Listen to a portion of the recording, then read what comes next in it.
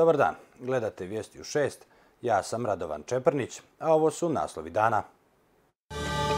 Radnici instituta dr. Simo Milošević i danas na Debelom brijegu i Kobili.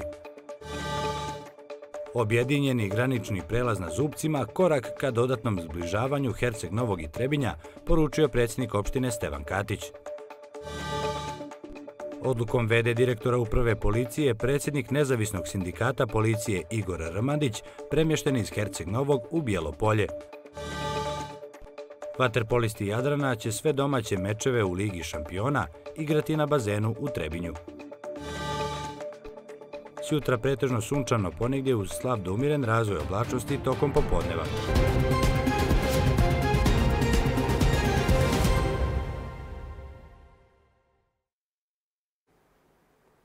Sindikalna organizacija Instituta dr. Simo Milošević i danas od 18 do 20 sati organizuje blokadu graničnih prelaza sa Republikom Hrvatskom. Zaposleni ne odustaju od protesta dok njihovi zahtjevi ne budu ispunjeni, a na graničnom prelazu Debeli brijeg i ovog petka je koleginica Nina Lorić.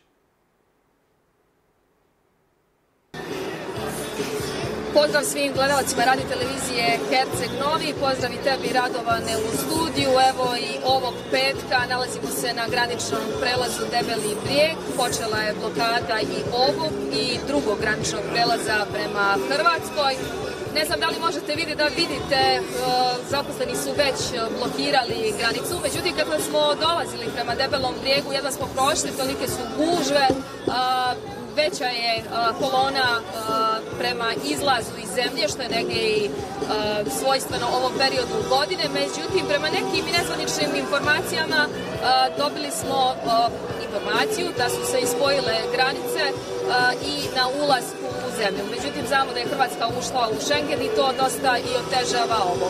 Zaposleni su dakle blokirali i ovog petka granični prelaz. Ono što je novo u proteklih sedam dana jeste da je održan sastanak ministara financija Aleksandra Damjanovića i Siniše Malog, da je negdje načelno dogovoren model na koji će se dug prema Jugobanci riješiti. Kao, čuje, kao što možete da čujete iza mene trube ljudi koji čekaju da izađu iz Crne Gore, negdje i negoduju, ali evo da i to spomenemo da možda bude bilo i većeg efekta ovog petka, da možda i oni koji trebaju da čuju, čuju ono čemu se radi.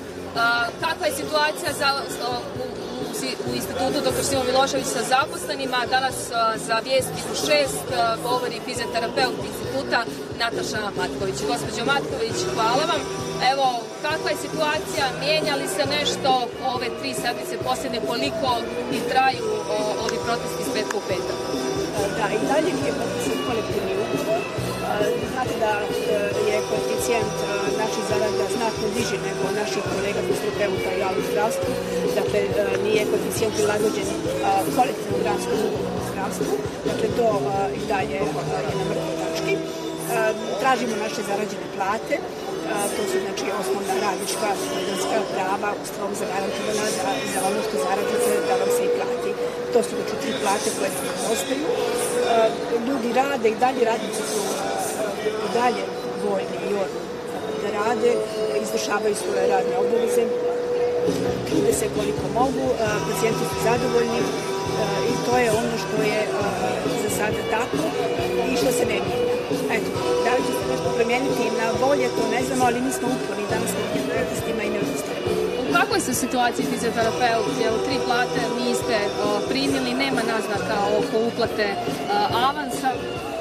Mnogi, eh, mnogi naše kolege, odnosno eh, više članova porodice rade u institutu, tako da im je eh, vrlo financijski teško, mnogi su u stanju socijalne, socijalne potrebe, treba platiti kredite, pogotovo ako je neko i postanar, znači treba pripremiti djecu sada za, za školu, za školsku godinu, znači prosto su u teškoj situaciji i to, to se ne može nikako, nikako premoći. Eto. Pa, je vas to negdje i demorališe? Kako raditi u ovakvim uslovima kad znate da dajete sve od sebe, a ipak ta plata i zarada svi živimo od toga i dođe negdje kao nagrada za sam trud i rad? Tako je, tako je. Demorališe, naravno. Ljudi jesu umorni, iscrpljeni i, i teško im je u stanju su stresa. Nije lako pružiti sve od sebe, a zato ne dobiti adekvatnu nagradu. Naravno da je teško. U, u to nema pogovora. Zaista je teško. Na, nadate li se da će ovi protesti dati uh, neki rezultat, evo, da će čuti oni koji trebaju da čuju kako bi evo, došlo do uplate tog avansa koji ćete naravno vi kroz svoj rad otplatiti. To nije pomoć države, nego unaprijed plaćen posao. Tako je, da mi se nadamo, mi sve što, što uh, uh, zapravo avanska se traži, mi to sve zaista vraćamo i prije rokova. Uh, mi to zaradimo i tu, tu nema, to, to, je, to, to je istina. Uh, ima novca, recimo ako, ako vi zapošljavate upravu, ako vam je državna i opštinska uprava puna a, a, ljudi koji zauzimaju recimo na radnom mjestu imate znači na jednoj stolici tri zaposlena, naravno da, da, da ima novca i da nam je teško kad, kad uporedimo sada tako recimo odnos e, jedne nerav, nerav, neravnopravne raspodjele e, sredstava iz budžeta i tako, tako da nam nije normalno. Hvala vam na razgovoru, gospođo Matković. Evo, čuli smo u kakvoj poziciji su radnici, odnosno zaposleni u institutu, daju sve od sebe da to funkcioniše, uprkos tome što evo nisu primili uh, tri zarade. Protest je počeo tačno u 6 sati, odnosno u 18 časova, trajeće 2 sata do 20 sati. Da li će oni koji žure da napuste Crnu Goru i da se vrate u svoje evropske domove negodovati vidjet ćemo, vjerovatno neće biti ni njima lako, ali nije lako ni zaposlenima u institutu. Eto, toliko za ovo uključenje sa graničnog prelaza Debeli brijeg.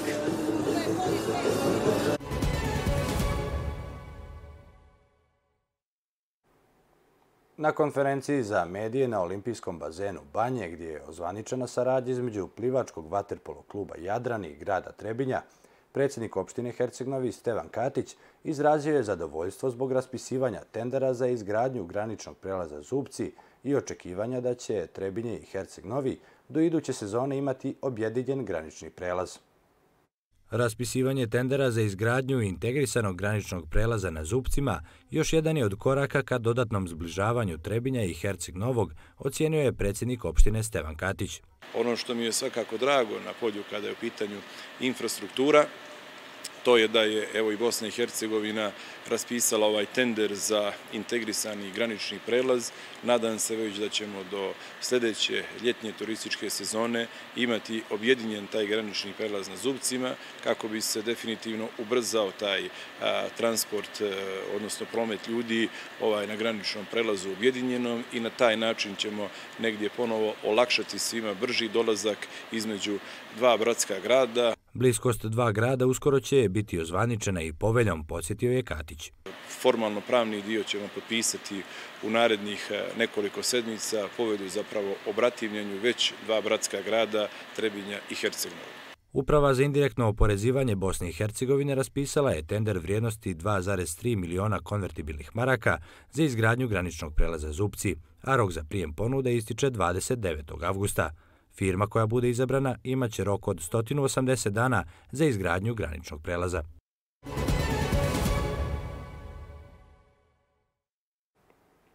Na jazu je danas svečano označen početak radova na rekonstrukciji magistralnog puta M2 aerodrom Tivat Jaza. Rok za završetak radova je dvije kalendarske godine od uvođenja izvođača u posao, a vrijednost investicije je 53 miliona eura. Jedna od najprometnijih saobraćajnica u Crnoj Gori, dionica puta M2 u dužini od 16 km, biće rekonstruisana. Trasa budućeg bulevara je značajna jer prolazi preko teritorije opština Tivat, Kotor i Budva. Godinama se pričalo da se nešto mora da radi, da se nešto mora raditi na ovom putnom pravcu. I ne samo na ovom putnom pravcu i ja sam zaista zadovoljan što smo kao 43. vlada jako brzo došli u situaciju da danas otvorimo radove, a nadam se za dvije godine da ćemo svjedočiti otvaranju bulevara od 16 km koji će značajno pomoći odvijanje saobraćaja na ovoj dionici, naročito između Budve i Tifta. Radi se o investiciji vrijednosti 53 miliona eura i na tenderu međunarodnom koji smo raspisali preko procedura Evropske banke za obnovu i razvoj, dobili smo kao izvođača, kao najpovoljniju ponudu, konzorcijum Shangdong. E, na ovome projektu nadzor će vršiti italijanska kompanija IRD. Radi se o jednom od najopterećenijih putnih pravaca u Crnoj Gori. Na pitanje novinara zbog čega se prvo ne gradi zaobilaznica s obzirom da gradnja ovog bulevara neće riješiti problem tranzicionog saobraćaja, direktor Uprave za saobraćaj odgovorio je da postoji red poteza. Što se tiče konkretno bulevara Tivat Jazi, imali smo rađen projekat. Znači imali smo rađen projekat i to nam je omogućilo da brže reagujemo. U svakom slučaju i ova investicija u bulevar od Tivta do Jaza, u svakom slučaju neće usporavati i druge investicije koje namjeravamo u daljem nekom periodu da realizujemo. Moram podsjetiti da je Uprava za saobraćaj prije nekih mjesec dana, dva, imala vrlo konstruktivan razgovor sa kolegama iz Monteputa, Bili smo kod predsjednika ovaj, opštine Tivat i dogovorili smo da vlada Crne Gore pomogne, da se takođe i, eh, da kažem, saobraćajno pomogne eh, gradu Tivtu u dijelu da se eh, proba realizovati projekat izgradnje bulevara i kroz sami grad Tivat. Ambasador Narodne republike Kine Fan Kun kazao je da će rekonstrukcija magistralnog puta M2 pomoći svima da lakše putuju do važnih turističkih centara i omogućiti većem broju turista da uživaju u veličanstvenim pejzažima Crne Gore.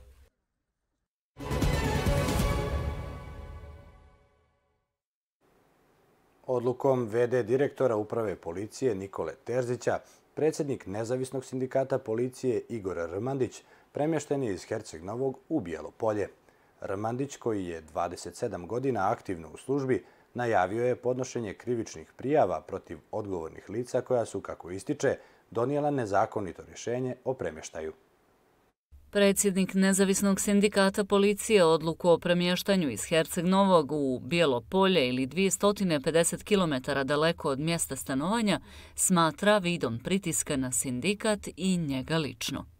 Mi od samog osnivanja sindikata ukazujemo na anomalije koje postoje u Ministarstvu unutrašnjih poslova, na nekompetentnost ljudi koji rukovode ovim vrlo važnim resorom i to je očigledno njima zasmetalo pa su pored mnogobrojnih pokušaja koje su do sada imali, a koji nisu uspjeli da nas destabilizuju i ugase, evo sad su našli još jedan način koji je najrigidniji po mene lično, ali to ne smatram kao udarac na samo mene, ne već, već na čitavu e, organizaciju nezavisnog sindikata policije, Naš sagovornik tvrdi da osim sindikalnog organizovanja nema drugih elemenata za ovu odluku.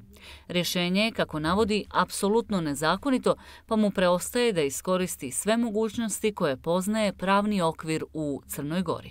Sve ovo što se dešava je isključivo e, čin osvete ministra unutrašnjih poslova, njegove šefice kabineta i e, ekipe koja radi zajedno sa njima, a koji e, ugrožavaju osnovna ljudska prava, e, pokušavaju da uguše sindikalizam u Crnoj Gori i da nam zabrane da mislimo svojom glavom.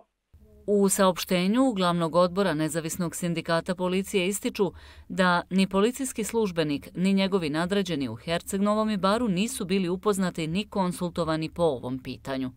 Redakcija radiotelevizije Herceg Novi uputila je pitanja PR službi Ministarstva unutrašnjih poslova i očekujemo odgovore.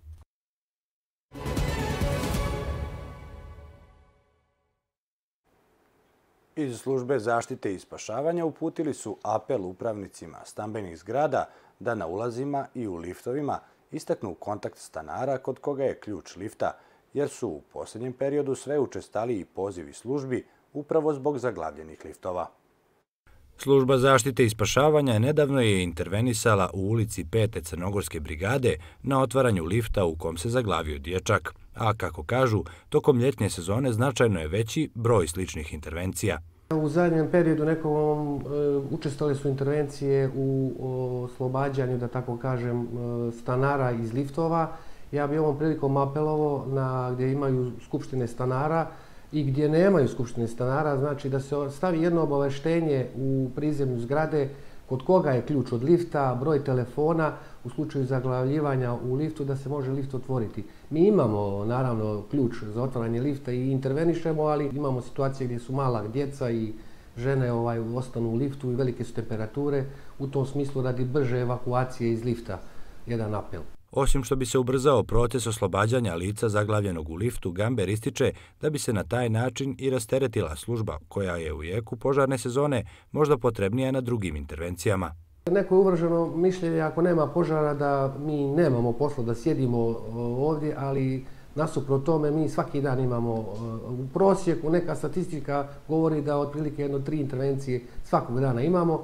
E, radi se o dosta intervencija druge kategorije, da kažem, nisu požari u pitanje, ali e, građani nas e, zovu za razne situacije koje im se dešavaju, a mi naravno izlazimo svakome u susret i mi smo prvenstveno ovdje na usluzi građanima i da im pomognemo u bilo kojoj situaciji kad god možemo. Osim brojnih intervencija pripadnika službe zaštite i spašavanja, Gamber je posebno istakao značaj dobrovoljnog vatrogasnog društva Luštica, koje je brzim intervencijama u svega par dana spriječilo eskalaciju čak tri požara.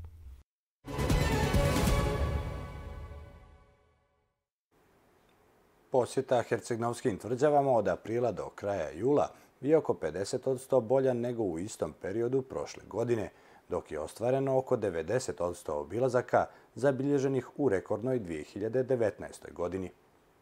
Hercegnovske tvrđave Kanli Kula i Forte Mare ove godine su otvorene nešto ranije nego prethodne, a u javnoj ustanovi kulture Herceg Fest zadovoljni su brojem posjeta do avgusta. Možemo reći da smo bolji za nekih 50%, a ako poredimo sa 2019. godinom koja nam je bila rekordna, koja nam je bila željna godina da se ponovi, možemo reći da smo ostvarili 90% 2019. godine. Eh, april i maj, eh, to jest predsezona je prednjačila ove godine 2023. dok u sezoni su brojke malo opale, ali eto čeka nas još avgust koji je mjesec pun turista, pun posjetioca, tako da se nadamo da ćemo možda i biti bolji nego 2019. godine. Kao i prethodnih sezona, Kanli Kula je nešto posjećenija. Ipak je ona najatraktivniji simbol našeg grada.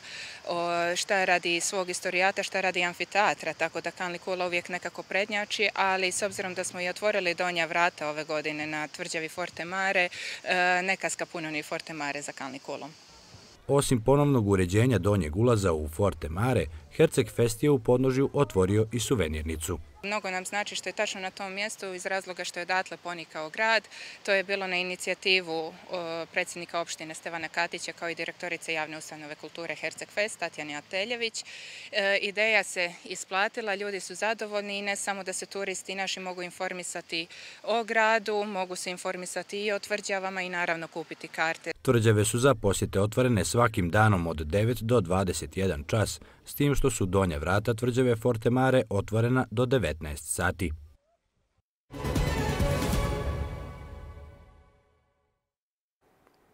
U susret Međunarodnom danu mladih, večeras na tvrđavi Forte Mare bit će upriličen koncert rock grupe Vatra sa početkom u 21 čas. Dan mladih obilježava se 12. avgusta, a tim povodom čestitke su uputili predsjednik opštine Stevan Katić i sekretarka za kulturu i obrazovanje Ana Zabelić-Pištalo. Povodom Međunarodnog dana mladih 12. avgusta čestitku su uputili predsjednik opštine Herceg Novi Stevan Katić i sekretarka za kulturu i obrazovanje Ana Zambelić-Pištalo. Naša je težnja da svakog dana brinemo o djeci i mladima, osluškujemo njihove potrebe i činimo da grad bude po njihovoj mjeri. Vaša energija i želja za napretkom su neprocijenjivi resursi koji nam daju elan da radimo što je bolje moguće. U to ime vaša smo snažna podrška pri odlasku na takmičenja studijska putovanja. Obezbijedili smo subvencije za školski prevoz, pomoć školama, a najboljima svake godine dodjeljujemo stipendije. Navedeno je između ostalog u čestitki.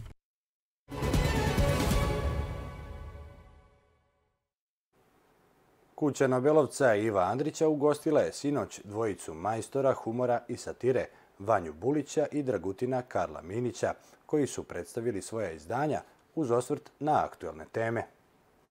U pokušaju da ublaži gorčinu vremena u kojem živimo, novinar, književnik i TV voditelj Vanja Bulić humor i satiru ubacivao je u svoje ozbiljne novinarske tekstove. Kako objašnjava, izdavači i ljudi su to primijetili od njega i tražili da počne da se bavi time, te je njegovo književno stvaralaštvo začinio satirom. Danas je došlo vreme da ako pišeš iskreno ono što nam se događa, svi će reći odličan satirični tekst. Ubeđen sam da kad bi se Nušić pojavio, ne bi mogo da veruje, e, priznao bi da ne bi mogo da smisli narodnim poslanicima, ima jedan komad njegov koji se zove narodni poslanik, ima i vlast, ono što se izgovara u Skupštini.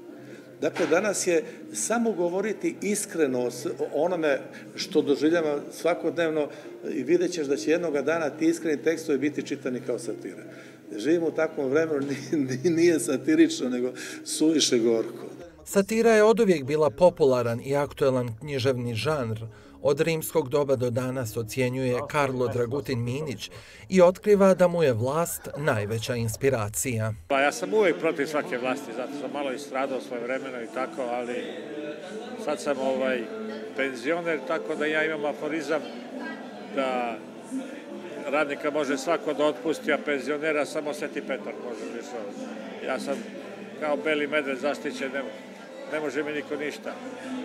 Ali, ali dobro, i dalje ovaj, funkcionišem, uređujem satirikon u politici.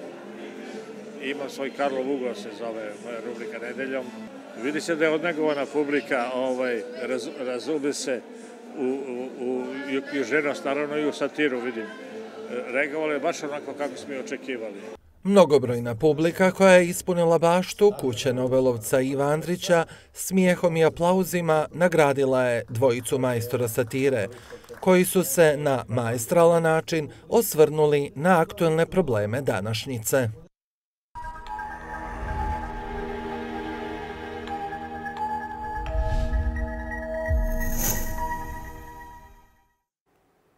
Vaterpolisti Jadrana mečeve Lige šampiona igraće u Trebinju ozvaničeno je na današnjoj konferenciji za novinare.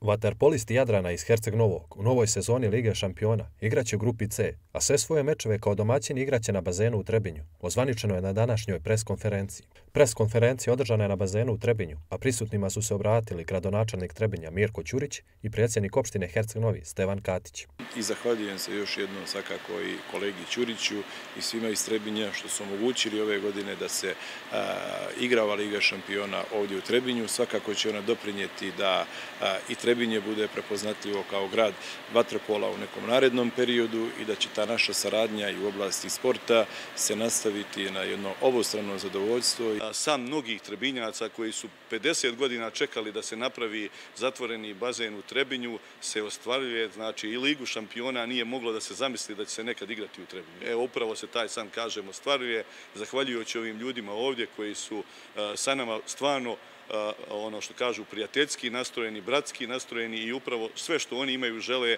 da podijele sa nama. Kako ističe predsjednik Vaterpolo kluba Jadran, Boro Lučić, ovo je samo početak saradnje između grada Trebinja i Jadrana. Uznade da će Jadran doprinijeti razvoju Vaterpola u Trebinju. Jer ovo će prvi put biti da se Lenova Liga šampiona Vaterpolu igra u Trebinju I eto, svicajem okolnosti, Jadran nema svoj bazen na kojem se mogli da igramo utakmice tokom zimskog perioda i zaista mi je drago što je Trebinje kao, da kažem, i budući povratim e, našeg grada Hercenovoga izašao nam u susret, ne samo pružavajući kompletnu logistiku, već i davajući nam i ovaj bazen u tako da ćemo već u oktobru igrati prve utakmice Lige šampiona u ovom gradu. Vaterpolisti Jadrana nalaze se u grupi C, a protivnici Novljanima su Ferenc Varoš, Jadran iz Splita i pobjednik kvalifikacione grupe A. Prvi meč Novljan igraju 27. septembra u Mađarskoj protiv Ferenc Varoši, dok će kao domaćini u Trobinju prvi meč odigrati 7. oktobra protiv Splitskog Jadrana.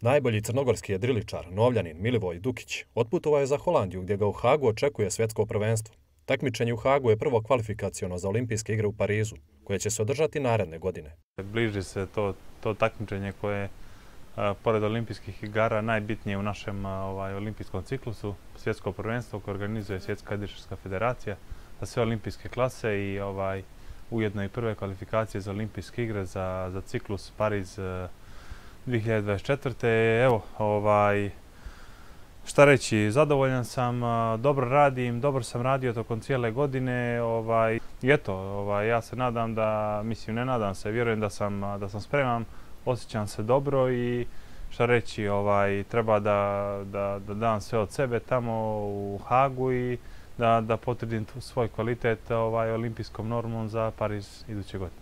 Prva regata u Hagu zakazana je za nedelju, a Crna Gora će na ovom prvenstvu imati dva predstavnika. Pored Dukića na svjetskom prvenstvu u Hagu učestvuje član Delfina Ilija Marković. Glavni cilj je da Milivoje i Ilija uđu u zlatnu grupu, a da se nakon toga na ovom takmičenju izbori i norma za olimpijske igre.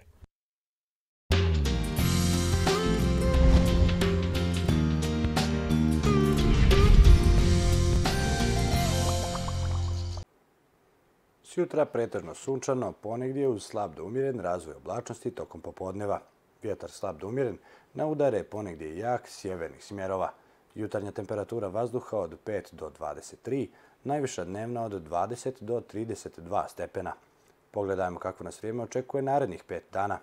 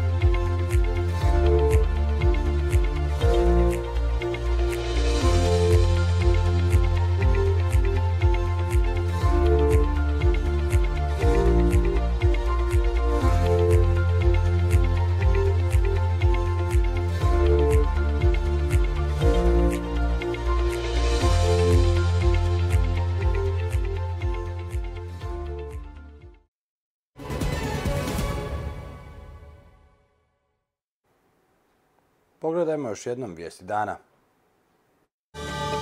Radnici instituta dr. Simo Milošević i danas na Debelom brijegu i Kobili. Objedinjeni granični prelaz na Zubcima, korak ka dodatnom zbližavanju Herceg Novog i Trebinja, poručio predsjednik opštine Stevan Katić. Odlukom VD direktora uprave policije, predsjednik nezavisnog sindikata policije Igor Rmandić premješten iz Herceg Novog u Bijelopolje. Vaterpolisti Jadrana će sve domaće mečeve u Ligi šampiona igrati na bazenu u Trebinju. Sjutra pretežno sunčano ponegdje uz slab do umiren razvoj oblačnosti tokom popodneva.